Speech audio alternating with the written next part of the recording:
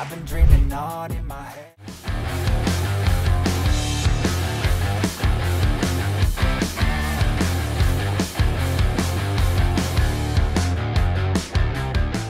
안녕하십니까. 제펄입니다. 자 드디어 코나가 5년 만에 이제 full change를 했어요. 당시에 2017년도에 이 코나가 처음 나왔을 때 이게 또 현대차 회장님 있지 않습니까? 순양 회장님? 아. 아, 그 회장님 이거를 야심차게 들고 나왔었어요. 그때 당시가 소형차 시장이 대세였잖아요. 특히 쌍용 티볼리 그거랑 막 르노 삼성의 이제 QM3 그런 것들과 싸우려고 이제 후발주자로 딱 내놨어요. 아 초반엔 분위기 좋았어요. 그러다가 이제 이거 충전하다가 어, 불에 타버렸잖아요 그리고 막 리콜 사태 들어오고 하면서 그냥 완전 하향세. 주주주주주. 그러다 거의 이제 꼴등. 그러다 이제 21년도에 이게 완전히 단종이 돼버리고 정말 우울하게 끝나버렸죠. 그러다가 아 이제 더 이상 안 되겠다 다시 한번 재도약을 해야겠다. 그래서 이번에 드디어 full change 돼서 나왔는데 일단 우리 호피님도 사전 계약해놨죠? 어, 저도 해놨죠. 야 이것도 출고기가 더 재밌는데 이거보다는. 여러분들 곧 또 출고기로 만나뵐 거니까 오늘 일단 어, 이 차를 빠르게 만나보시고 일단 그랜저처럼 seamless horizon 램프. 야 이게 이제 아예 대세가 될 것 같아요 이쪽이. 어떤가요? 코나 이렇게 사전 계약자 입장으로서? 근데 제가 매체나 이런 걸로 그냥 보다가 실물로 보다 보니까 실물이 훨씬 예쁜 것 같긴 해요. 제가 맨 처음에 이 사진을 올렸을 때도 많은 분들이 아 그랜저보다 훨씬 잘 어울린다. 야 이런 얘기를 하더라고요. 앞으로 나올 현대 차들은 요 DRL 램프로 다 나오지 않을까 생각이 들거든요. 그리고 요 차는 이제 1.6 터보 모델인데 요게 이제 가장 제가 보기에는 대세 모델이 되지 않을까. 하이브리드가 나오면 또 하이브리드가 인기가 많겠긴 하지만 그 전까지는 1.6 터보가 가장 인기가 많을 것 같고 자 이제 그릴을 과감하게 다 없애버렸어요. 요쪽 그릴이랑 이런 데를 없애버리고 요쪽 디자인을 완전히 새로 한 거예요. 코 부분 보면 어때요? 요게 이제 shark nose라 그래가지고 요즘 좀 고성능 차들이나 요즘 차들 보면 이런 shark nose가 굉장히 유행이거든요. 그런 디자인으로 굉장히 좀 세련되게 잘 만들어 놨어요 그러다가 여기 마크만 가까이 가면은 어 그랜저인가? 어, 그죠 여기만 보면 그랜저 아닌가요? 어, 그러네요. 네, 여기 보면 사람들 그냥 그랜저인 줄 알죠? 아, 요거는 이제 기본 모델이라 그러는데 N라인 같은 경우는 요게 이제 차 색깔하고 wheel house 색깔 있잖아요. 범퍼랑 요쪽이 다 이제 one tone으로 동일하게 다 나와요. 자, 보시면은 갑자기 측면으로 오잖아요. 여긴 또 우리 아반떼에서 보던 장면 아닌가요? 네, 완전히 굴곡지게 해놓은 거. 그러니까 이게 완전 대비되게 만들어 놓은 거예요. 앞모습하고 뒷모습은 부드럽게 가다가 측면은 과감하게 꺾어주는. 그래서 대비가 되는 거죠. 스포티하고 스포티한데 정면 보면 아 우아하다. 아, 그런 디자인 컨셉인가 봐요. 그렇죠. 일단 요번 코나 자체가 rule breaker라고 나는 기존 소형 SUV의 룰을 깨버리겠다. 나는 이제 소형 SUV 중에 동급 최강자가 되겠다. 일단 공간도 엄청나게 커졌다고 하고요. 일단 성능 면에서도 저번 모델보다 이제 훨씬 더 성능 향상을 했다고 해요. 일단 요 차체 길이가요 145mm가 늘어났어요. 14.5cm 요만큼이 늘어난 거예요. 차 길이만. 왜냐면 우리가 소형차 탈 때 가장 불만이 뭐예요? 실내 공간. 그러니까 좁은 실내 공간. 호피님도 요거 정보 알고 산 거 아니에요? 커졌다 그래가지고 뭐 좀 커졌겠거니 하고 그냥 한 거죠. 아, 근데 13.5면 되게 커진 거거든요. 휠 베이스가 일단 60mm가 늘었으니까 6cm. 바퀴와 바퀴 사이가 6cm가 늘어났다는 거는 실내 공간이 쫙 늘어났다는 거거든요. 아, 그리고 요 휠 사이즈가 이제 소형 SUV급에선 동급 최강으로 났어요. 19인치. 어, 꽤 커 보이네요. 왜냐면요, 원래 이 급의 차는요, 17, 18이 기본이에요. 19인치로 나왔는데, 사람들 생각할 거 아니에요. 잠깐, 우리가 이거 코나 가성비로 타고, 어, 되게 그냥 합리적으로 타려고 하는 차인데, 휠 늘려놓으면 연비 줄어드는 거 아니야? 그럴 수도 있겠는데요. 그거를 다시 연비까지 17, 18인치대로 맞춰놨대요. 연비까지. 어, 그러니까 휠로 멋은 내고 효율까지 낼 수 있는 이쪽 이제 타이어가 요즘 현대에서 가장 많이 하는 게 정숙성이에요. 이제 흡음 타이어를 다 기본으로 쓰더라고요. 흡음 타이어 썼을 때 이 노면에서 올라오는 소음 있잖아요. 어, 그 소음들을 완전히 줄일 수 있거든요. 현대에서 나온 모든 차들이 이제 흡음 타이어를 쓸 것 같아요. 아 여기서 위에서는 안 보이는데 이제 이중 접합유리 2급의 이중 접합률이 나오나요? 이급에 보시는 분들은 아니 이중 접합률이 뭐 요즘 리뷰 보면 다 나오던데 원래 이런 소형 SUV에서는 꿈도 꾸기 힘든 거거든요. 왜냐 올라가잖아요. 어, 원가가 올라가잖아요. 그렇죠. 당연히 이 차도 가격이 좀 올라가기는 했어요. 요번 코나부터는요. 이제 가성비가 아니에요. 이제는 살짝 가심비라고 해야 되죠. 가심비를 낼 수 있는 차로 바뀌게 된 거예요. 이중 접합률이로 이쪽은 이제 다 바뀌었다고 하고요. 실내 보면은 순간 전기차인 줄 알았죠. 어, 그러네요. 느낌이 네, 살짝 전기차 느낌 나지 않아요? 아이오닉 느낌도 많이 나고 그러네요. 사실 이번 코나를 제작을 할 때 전기차로 먼저 제작을 한 거예요. 그러니까 이게 이제 이건 전기차라고 생각을 하면 돼요. 전기차는 아니지만. 아, 시작이 전기차로 시작을 했나 봐요. 네. 전기차로 모든 디자인을 해놓고 거기서 내연기관 하이브리드, 그다음 코나 N까지 다 이렇게 이제 차츰차츰적으로. 그러니까 이 차의 최종 목표는 전기차인 거예요. 너무나 전기차스럽지만 아직 전기차는 아니에요. 이건 내연기관이에요. 전기차 같은 경우는 이제 2분기 때 그때 이제 어, 출시를 한다고 합니다. 아 저는 네. 저 헤드라이트 저 느낌 너무 좋은 것 같아요. 요게 보시면 알겠지만 아 요쪽 이제 범퍼 부분하고 요쪽 헤드라이트가 굉장히 대칭되는 모습을 보이죠. 어 그러네요. 이런 스타일을 좀 만들어 놓은 건데 요즘 사람 차 되게 잘 알거든요. 그래서 이런 헤드라이트 디자인 요즘 못 만들잖아요. 그럼 이제 망이에요, 망, 폭망. 이제 요 디자인을 굉장히 잘 만들어야 돼요. 근데 요 옆에 저 우락부락한 디자인하고 요쪽 헤드라이트를 싹 이 감싸는 모습을 중점으로 만들었다고 해요. 그러다 갑자기 여기서는 부드러워지는 거예요.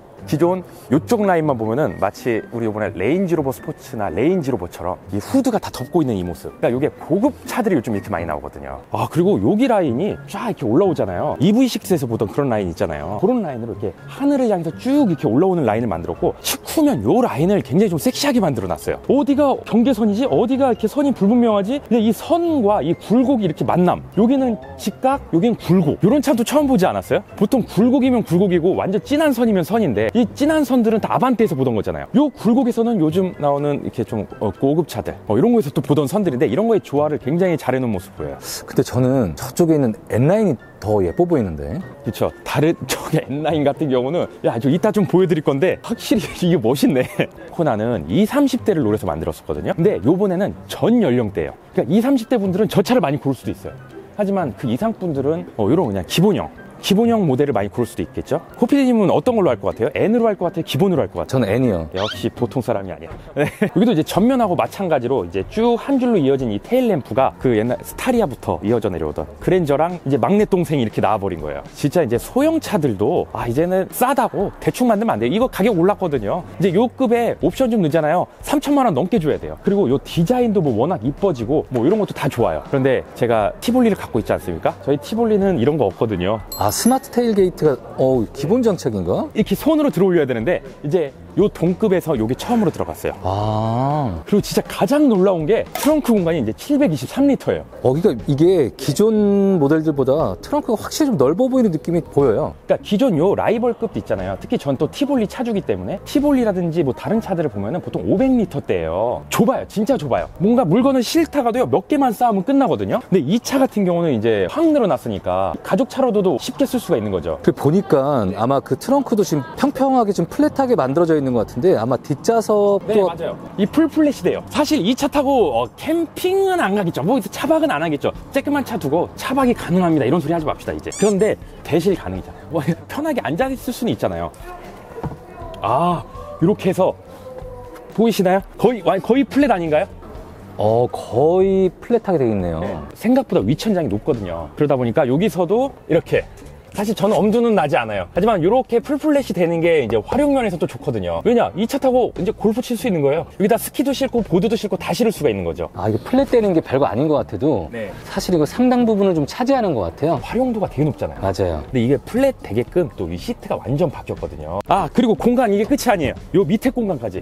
비밀의 수납 공간? 여기는 진짜 안 빼는 짐들 있잖아요. 하지만 차에는 싣고 다녀야 되는 것들. 어, 그런 것들 넣어놓고 다니거든요, 사람들이. 그래서 이쪽에도 짐을 많이 실어놓을 수가 있 으니까 공간 활용도 면에서는 진짜 동급 최강은 맞긴 하구나. 근데 또 이렇게 얘기하면 또 현대 빤다고 또 빠는 게 아니고 눈에 보이는 대로. 진짜 요 급에서 되게 넓은 편이에요, 이 정도면은.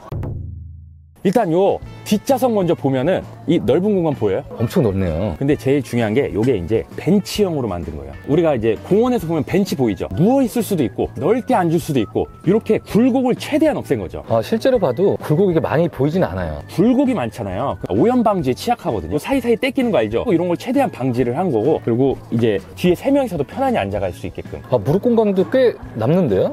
그래서 와 이 정도 소형차 크기면은 진짜 활용도 면에서나 그리고 진짜 왜 룰 브레이커라고 하는지 알 것 같아요. 아까 뭐 성능면, 공간면 이런 면에서 지금 나온 소형차 중에 얘가 1위로 앞서가지 않을까. 머리 공간은 어떤가요? 어 여기 있어요. 어, 아, 근데 제가 좀 안녕 키가 너무 작아서 이게 좀 비교가 어렵네요. 도시락 부분도 보시면은 예, 여기까지 이렇게 신경을 써주지 못했네요. 여기는 그냥 이제 기본적인 이제 도시락이 딱 들어 있고요. 와, 어피님 이거 계약했다 그랬죠? 네. 어, 이거 진짜 뒤에 사람 편안히 태울 수 있어요. 아, 이거 진짜 좋다. 그리고요, 생각보다 많이 푹신거려요. 어, 괜찮은 것 같아요.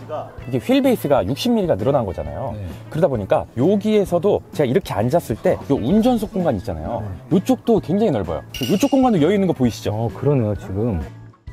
예를 들면 제가 티볼리에 이 정도로 앉잖아요. 그럼 운전석에 우리 엄마가 앉아야 돼요. 아니면 못 앉아요. 아 진짜로. 아, 근데 이게 네. 동승석 walk-in 스위치가 있는데 보통 보면 두 개던데 이건 세 개가 있네. 저는 그냥 요급의 동승석 스윗 요게 있는 게 더 신기해요. 이 walk-in 있는 거. 아 이거 내 차에도 없는 건데. 아 원터치네 원터치. 아 이거 설마 그 그랜저에서 봤던? 어, 어 진짜. 이거 진짜 편하거든요. 이야. 와.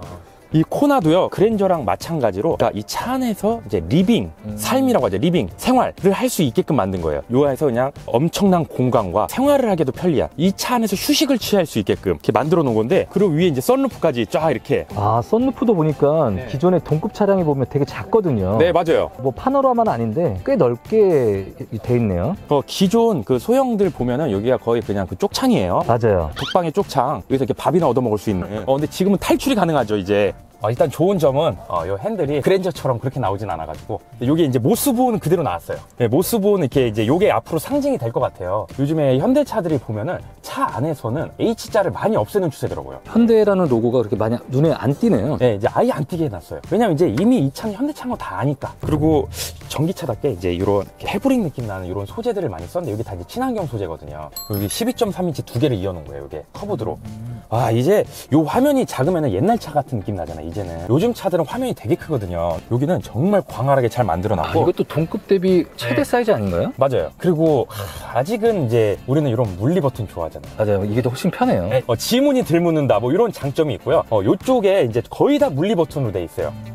요게 이제 칼럼식 기어로 바뀌었잖아요. 이것도 또 그랜저에 있는 걸 가, 져다 놨네. 네, 요거를 자꾸 쓰는 이유가 뭔지 아세요? 요쪽 공간의 활용을 위해서예요. 여기가 이제는 수납 공간의 장을 만들겠다. 야, 근데 수납 공간이 진짜 많네요. 요급에 통풍이랑 열선 시트 다 있어? 핸들 열선까지? 그 없는 옵션이 뭐지? ambient도 있어요. ambient light까지? 아, 이거 좀 어두울 때 해봐야 되는데. 맞아요. 그리고 요쪽에도 수납 공간이 있네요. 아 근데 제가 개인적으로는 네. 예전 랜드로버를 탈때 네. 디펜더 보면 여기에 충전 포트가 있어서 편했는데 아, 예. 그런 거 하나 좀 달아줘도 좋을 것 같아요. 요 차도 이제 전기차로 먼저 디자인 됐다고 했잖아요. 네. 그러다 보니까 OTA로 업데이트가 다 돼요.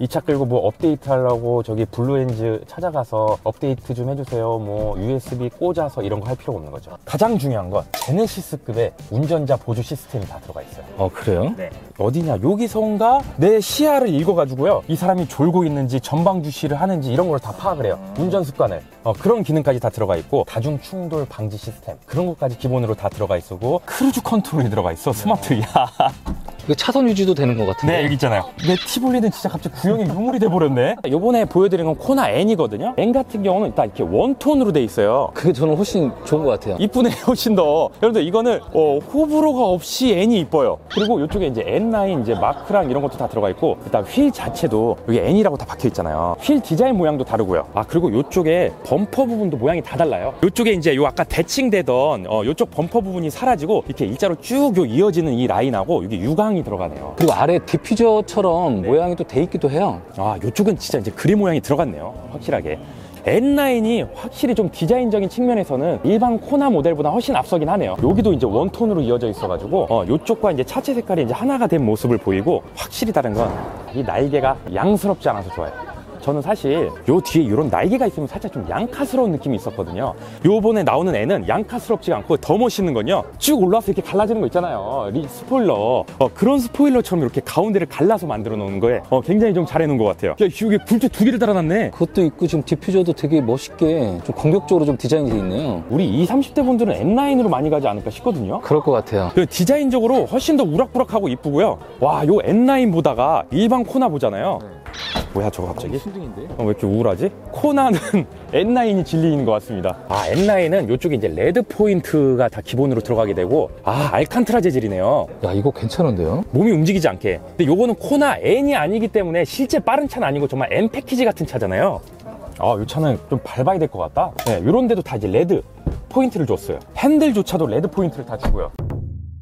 자, 오늘 이렇게 제가 코나를 만나봤는데, 일단 가장 좀 주력이 될 것 같은 1.6 터보 모델 같은 경우는, 어, 이제 198마력대로 나와요. 그러니까 성능 면에서는 터보 가장 낫겠죠? 가격은 2,537만 원부터 3,097만 원. 그러다 보니까 이제 옵션까지 넣다 보면은 3천만원이 좀 넘어가게 되는 금액. 그러니까 전작에 비해서 한 300만 원 정도가 더 올랐어요. 근데 하이브리드는 더 비싸요. 3,100만 원부터 3,300만 원까지. 근데 하이브리드는 또 이제 옵션이나 또 이제 그 연비적인 측면 때문에 선택하는 분들이 많기 때문에, 어, 이렇게 선택을 할 것 같고요. 이제 전기차도 2분기에 선보인 보인다고 하니까 그리고 우리 또 우리 호피디님의 또 코나 출국이 아주 기대해 주시고 저는 이 DRL 램프가 가장 잘 어울렸던 차지 않나 싶습니다. 다음에 또 시승기로 또 찾아뵙도록 하겠습니다. 이상 제볼이었습니다.